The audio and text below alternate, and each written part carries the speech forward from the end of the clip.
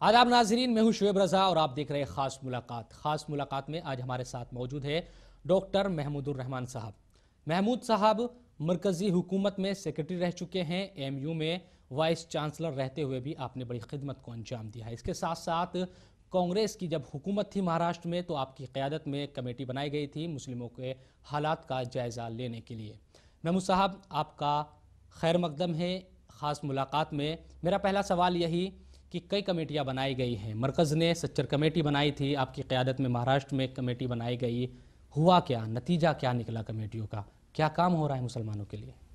ये था मुसलमानों की हालत ज़ार पे बहुत कुछ लिखा जा रहा था और पढ़ा भी जा रहा था। मुझे सर, सरकार ने ये कहा और ये ज़िम्मेदारी सौंपी कि मैं एक कमेटी की क़्यादत करूँ जिसका नाम रखा गया था chief minister high powered committee. To look into the causes of backwardness of Muslims in Maharashtra and suggest ways and means for the amelioration of their condition. पहली कमेटी जो हमारी बनी थी वो 2006 में थी और उसको हमने फ़ौरन रिपोर्ट दे दी उस पर काम हो गया और दो, 200 करोड़ रुपया सरकार ने सर्फ भी किया चंद साल के बाद फिर सरकार को ये ख्याल हुआ कि हम एक जाम तरीके से एक तफसीली जायज़ा लें मुसलमानों की ज़बू हाली पर। चुनानचे उन्होंने फिर मुझसे ये बात कही कि आप रिपोर्ट ये दीजिए। तब तक मैं अपना काम मुकम्मल कर चुका था जम्मू कश्मीर में हम्म। और मैं उस वक्त महाराष्ट्र में था। तो फिर से कमेटी को ज़िंदा किया गया और हम लोगों ने काम शुरू किया और ज़बरदस्त तरीके से हमने ये बात देखी। कि मुसलमानों को रहायशी सहूलतें नहीं मिलती। मुसलमानों को दाखिले उनके बच्चों को नहीं मिल रहे अच्छे स्कूलों में। जिसकी तरफ़ के सच्चर कमेटी ने भी इशारे किए थे और लिखा था। उसी तरीके से जो वक्फ बोर्ड है, उसकी हालत बहुत ही ख़राब थी। उसकी ज़मीनों पर कब्ज़ा हो रहा था और वो ये चाहते थे कि साहब इसमें और मुसलमानों के बहुत से और मकासद थे जो पूरे नहीं हो रहे थे। मसलन एक इस्माइल यूसुफ कॉलेज है उस पर वो मुसलमान महाराष्ट्र के ये महसूस करते थे कि ये कॉलेज का इंतज़ाम उनको दिया जाए। और हज हाउस जो है ये उन्होंने अपने पैसे से बनाया है। ये वो तो इन सारी बातों को हमने बहुत ही तफसीली जायज़ा ले करके ये हम लोगों ने देखा कि मुसलमान जो हैं वो वहाँ की गवर्नमेंट की जो मुलाजमत है उसमें तीन से साढ़े तीन फ़ीसद हैं सिर्फ़। पुलिस में उनकी कोई नुमाइंदगी बहुत कम है, वो भी चार फ़ीसदी से कम है, जबकि मुसलमानों की तादाद दस से बारह परसेंट तक है वहाँ। और उसमें तीन से चार परसेंट लोग रह रहे हैं। वहाँ के जेलों का जब जायज़ा लिया गया तो वहाँ देखा कि साहब तीस से पैंतीस, सैंतीस परसेंट लोग जो हैं, वो वहाँ अंडर ट्रायल्स मुसलमान हैं। अब मुसलमानों की तादाद ही अगर वहाँ दस से बारह परसेंट है तो तीस से पैंतीस परसेंट जो और उसमें अंडर ट्रायल ज़्यादा हैं। तो ये हुआ कि उनको लीगल एड भी मिले। चुनानचे इस बारे में हमने तफसीली सिफारिशात की कि मुसलमानों के जो इदारे हैं उनको ज़रूरत के मुताबिक उनको मदद दी जाए उनको उनका निसाब जो है उसको देखा जाए जहाँ पे साइंस की ये तमाम चीज़ें हैं लेकिन रिजर्वेशन का भी एक अहम पहलू रहा है। रिजर्वेशन की अगर बात की जाए तो आपने भी उसकी वकालत की थी मुसलमानों के लिए। दूसरी जो कमेटियाँ हैं उसमें भी ये कहा गया है कि मुसलमानों के जो हालात हैं वो दलितों से भी, भी बदतर, है।, है। बिल्कुल सही। उस मसले को लेकर क्या आ, होना चाहिए कम से कम पूरे? क्योंकि मुल्क में हम देखते हैं कि तमाम जो सूबाई हुकूमत है वो भी कोई ख़ास कदम नहीं उठाती। महाराष्ट्र में भी यही हुआ है। हमने जैसा आपको बताया कि तफसीली जायज़ा ये बताता है कि मुसलमान हर सिमत पीछे रह गए हुए हैं। उनको पढ़ाई तालीम में भी पीछे हैं। नौकरियों में तो बिल्कुल ही वो हैं नहीं। और जहाँ पर हैं तो बहुत छोटी सी नौकरियों में फंसे हुए हैं। आला नौकरियाँ जो हैं उनको नहीं मिल रही। चुनानचे हमने ये बहुत इसका जायज़ा लेने के बाद ये देखा हमको इस बात का इल्म था हमारी कमेटी को कि 50 फ़ीसदी से ज़्यादा रिजर्वेशन नहीं हो सकता। और 50 फ़ीसदी जो है ये पाए तकमील को पहुँच चुकी हुई है ये शरह। तो अब ये कैसे इनको दिया जाए? तो हमारे कमेटी ने इसको बहुत गौर व खौस के बाद बहुत से लीगल एक्सपर्ट से पूछ कहने के बाद माहरीन की सिफारिशात भी ले करके ये हमने कहा कि मुसलमानों ही को एक कम से कम टेन परसेंट रिजर्वेशन दिया जाए। तब तो वो चंद सालों में कुछ अपनी अकब अकबमानदगी और जो पसमानदगी है उससे निकल करके उसमें जो फंसे हुए हैं उसे निकल करके आगे आएँ। इस बात का हमको पूरा इल्म था कि मज़हब की बुनियाद पे तो रिजर्वेशन मिलना ज़रा मुश्किल है लेकिन मज़हब की बुनियाद के ऊपर मुसलमानों को एक वक्त हटाया गया है। यानी महाराष्ट्र एक ऐसी स्टेट है जहाँ पर के शेड्यूल्ड कास्ट और शेड्यूल्ड ट्राइब कैटेगरी में मुसलमान पहले भी थे और जब ये शेड्यूल्ड कास्ट को रिजर्वेशन मिलने लगा 1950 में तो उन मुसलमानों को अलग कर दिया गया। अब एक तरफ़ तो हम ये कह रहे हैं कि मुसलमानों को मज़हब के बिना के ऊपर हम नहीं दे सकते क्योंकि हम भेदभाव नहीं करते। अगर ऐसी बात है तो उनके साथ क्यों भेदभाव हुआ? ये बात जब हमारी कमेटी के पास आई तो ब इतफ़ाक़ राय, हमारी कमेटी ने कहा कि देखिए, इन बातों में फंसने से कोई मतलब नहीं है। अगर सरकार ये चाहती है कि वाकई मुल्क की भरपूर तरक्की में मुसलमान पीछे न रहें और बहुत ही खुश दिली के साथ, एक होती है ज़िंदा दिली। ज़िंदा दिली के साथ मुसलमान जो है, वो हिंदुस्तान में तरक्की के का जो ख़ास धारा है उसमें देखे जाएँ शुमार हो। उसके लिए उन्होंने एक नया लफ्ज़ इसमें बनाया और ये कहा कि डाइवर्सिटी इंडेक्स जो है हमारे यानी हमारी जो पंचरंगी तहजीब है उस तहजीब में जो पाँचों रंग हैं ये जहाँ जहाँ मध्यम पड़ गए हैं तो उनमें रंग भरे जाएँ। गुलों में रंग भरे बाद नौ बहार चले। ये हमारा मकसद था और हमने वो किया और उसमें हम लोग बहुत हद तक कामयाब हुए। बिल्कुल डॉक्टर साहब कई क्योंकि कमेटी में आपने क़्यादत की इसके साथ साथ आप एमयू में वी रह चुके हैं। आपको क्या नज़र आता है इस वक्त जो अकलीती तबके की जो तरजीहत हैं वो क्या है? अपनी जान माल की हिफाजत करना अपनी पसमानदगी को दूर करना तालीम हासिल करके ही किया जाए या तमाम दूसरे तरीके हैं उससे क्या आपको तरजीहत नज़र आती है अकलीती तबके देखिए साहब सबसे बड़ी तरजीह जो है वो तो सिक्योरिटी अमन और ए, किसी जगह कोई खदशात जो हैं उनको दूर होना चाहिए। यानी आदमी फ़ी महसूस करे कि हम यहाँ अपने मुल्क में रह रहे हैं अपने घर में रह रहे हैं और यहीं हमको मरना जीना है और यहीं पे परवान भी चढ़ना है और हमारे बच्चे जो हैं यहीं तालीम हासिल करें। तो हिफाजती अकदाम तो एक बिल्कुल ही समझिए कि नागुजीर चीज़ है। उससे तो इनहराब हो ही नहीं सकता। अब उसके बाद चलिए कि और क्या होना चाहिए? और होना ये चाहिए कि उनको तालीमी सहूलियात तबी सहूलत और रहायशी सहूलत ये मिले और उनके ख़िलाफ़ किसी भी किस्म का कोई भेदभाव नहीं किया जाए। कोई उनको किसी तरीके से नाउमीदी और कनूतियत का शिकार नहीं होने दिया जाए। यानी वो भरपूर तरीके से ज़िंदगी बसर करें। अगर उनसे कोई गलती होती है तो यकीनन सरजनिश के लायक हैं वो। लेकिन बग़ैर गलती के उनके सर के ऊपर कोई इल्ज़ाम तराशी की जाए और उनको मुसीबत में डाला जाए उनका कला कमा किया जाए और फिर उनके घर मसमार हों जो बेहुदा बातें हुई हैं चंद। मैं नहीं कहता कि उसका कौन जिम्मेदार है क्या है वो तो ज़ाहिर है सारा माशरा जिम्मेदार है और मैं भी जिम्मेदार हूँ आप भी जिम्मेदार हैं। लेकिन चीज़ है कि ऐसे वारदात न हों ऐसे हादसा रूनुमा न हों और उनको कैसे रोका जाए उसके रोकने के लिए ही हम लोगों ने ये सिफारिशात का सिलसिला शुरू किया जो शायद आम तरीके से ज़रूरी ना हो। और उसके लेकिन अब आपके यहाँ पचास फ़ीसदी देखिए रिजर्वेशन तहफ़ात दिए गए हैं। पचास फ़ीसदी।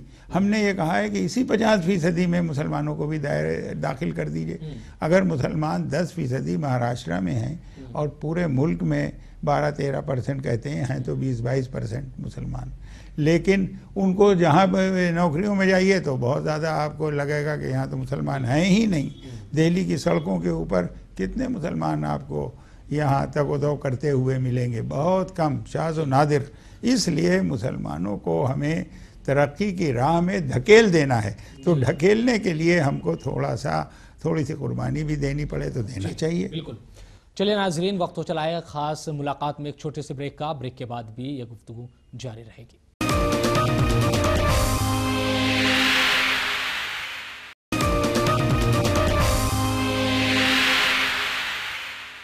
ब्रेक के बाद खास मुलाकात में एक बार फिर आपका खैर मकदम है। आज खास मुलाकात में हमारे साथ मौजूद है डॉक्टर महमूदुर रहमान। रहमान साहब, ब्रेक से पहले हमारी बात हो रही थी। आपने कहा कि किसी भी इंसान के लिए सबसे पहले यकीन दिलाना ज़रूरी है कि वो, और उसका जो माल है या उसकी जान है, वो हिफाजत से है। उसके बाद दूसरे काम होंगे।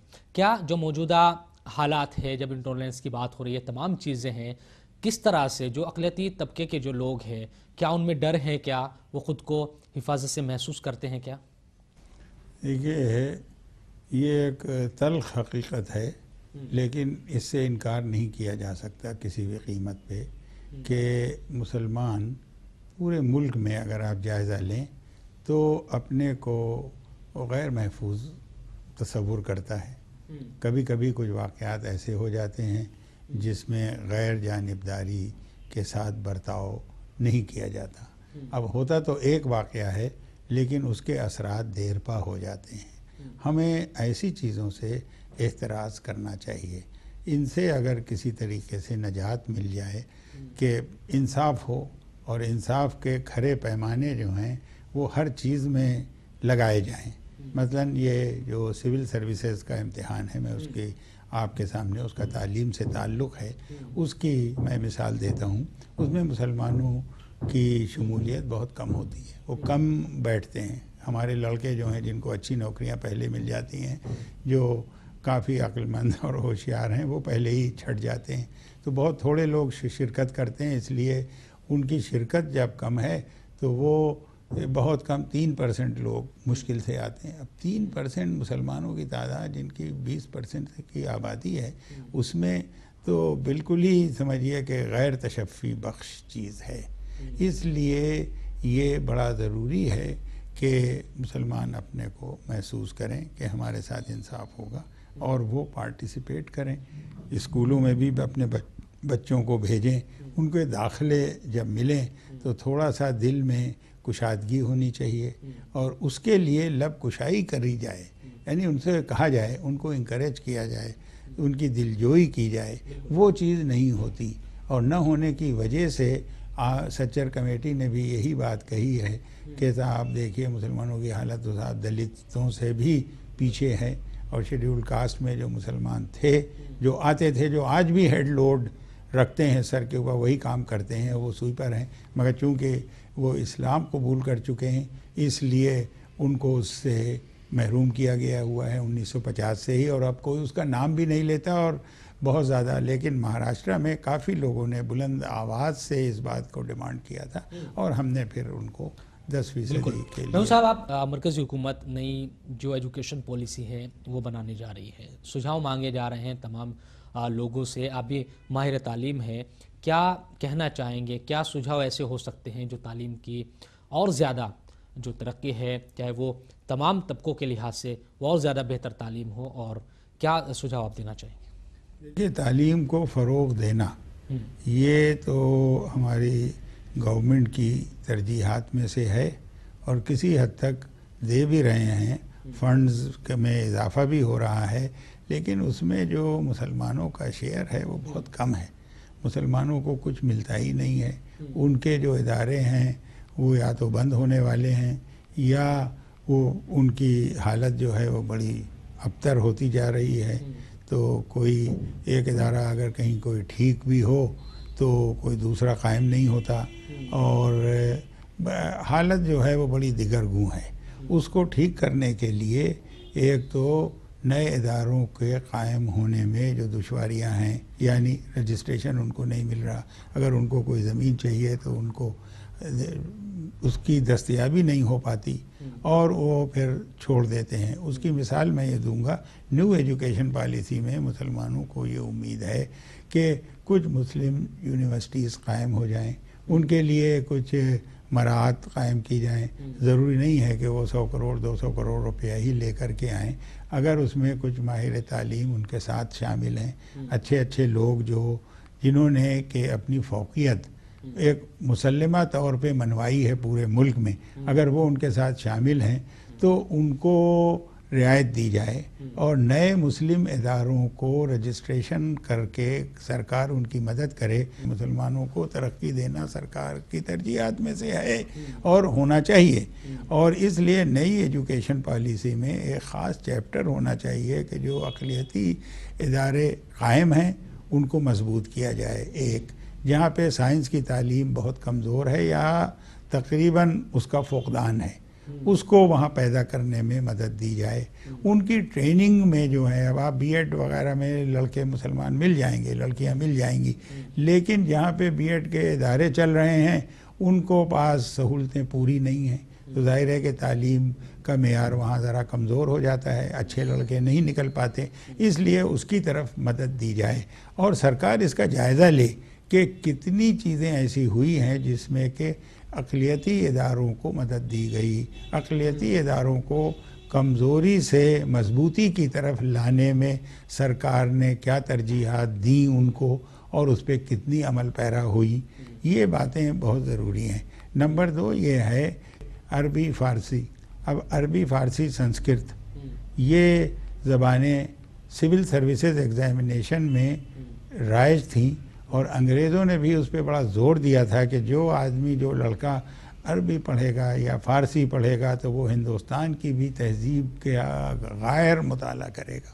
बहुत ही गहराई में जा कर के उसका मुताला करेगा वो। और वो चलती थी। अब वो फ़ारसी का जो मजमून है वो हटा दिया गया है।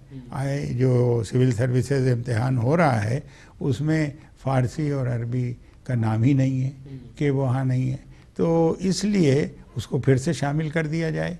वो अंग्रेज़ों के ज़माने में भी चलता था और उसमें ज़्यादातर नॉन मुस्लिम्स भी अपियर होते थे। वो क्या था? उनको एक शगफ हासिल हो जाता था फारसी सीखने का। तो किसी किसी भी मजमून को आप ज़ाय नहीं कर सकते। ये मेरा कहना था। चलिए वक्त तो चला है। ख़ास मुलाकात में एक और छोटे से ब्रेक का। ब्रेक के बाद भी महमूद साहब से ये सवाल जारी रहेंगे।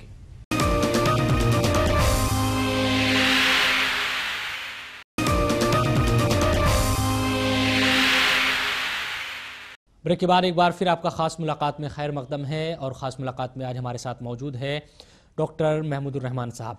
महमूद साहब, कश्मीर में भी आपने बड़ा काम किया है ज़ोर में काम किया जब मिलिटेंसी रूज पर थी। कश्मीर का जो मसला है, बड़ा मसला है हिंदुस्तान के लिए। यकीनन क्या सोचते हैं आप कि कश्मीर का मसला किस तरह से हल किया जा सकता है जिससे अवाम और हुकूमत दोनों राज़ी हो?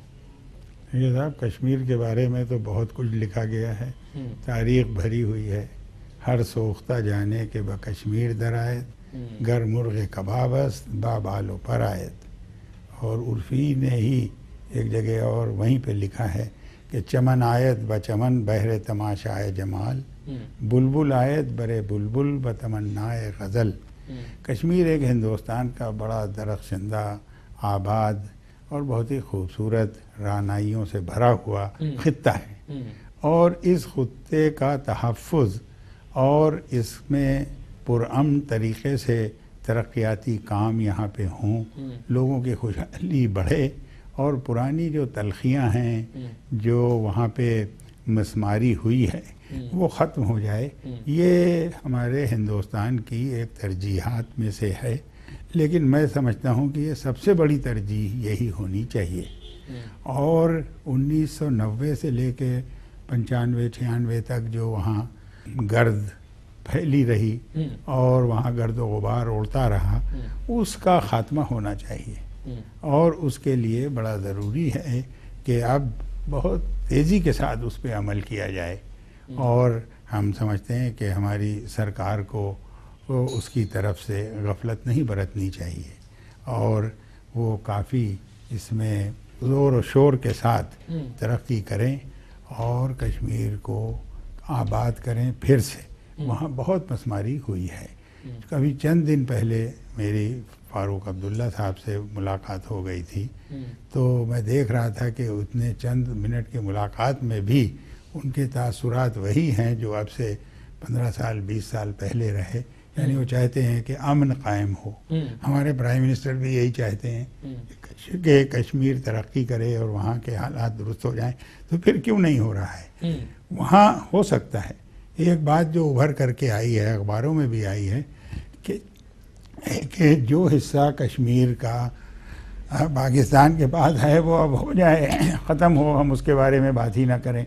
और जो अब हिंदुस्तान में है वो हिंदुस्तान में रहे। होती ज़ाहिर सी बात है क्योंकि जो हिंदुस्तान है हम लगातार ये कहते हैं कि कश्मीर हमारा है। ज़ाहिर सी बात है कि ये अटूट अंग है भारत का ये कहते हैं सब लोग। और तो क्यों पाकिस्तान ने भी तो ज़ाहिर सी बात है उस कश्मीर पर क्योंकि कब्जा किया हुआ है।